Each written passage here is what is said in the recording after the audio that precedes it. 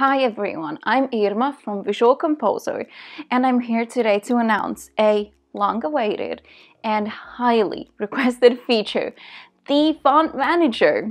It's a premium feature that allows changing fonts and styling text for your whole site in one place. So enough talking, let me show you how to get your hands on this cool feature. Find Visual Composer in your WordPress dashboard and click on Settings.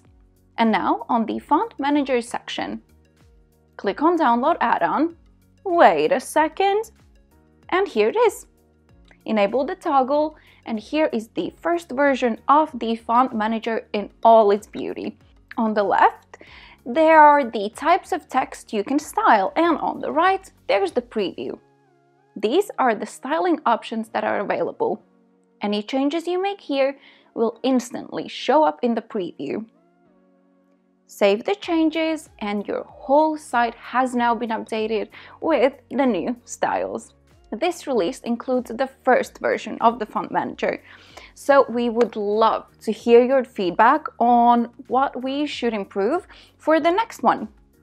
A little hint from our side, you'll be able to change fonts for buttons and menus in the next one. So make sure to update Visual Composer and check out the Font Manager. Thank you all for watching and see you on the next one.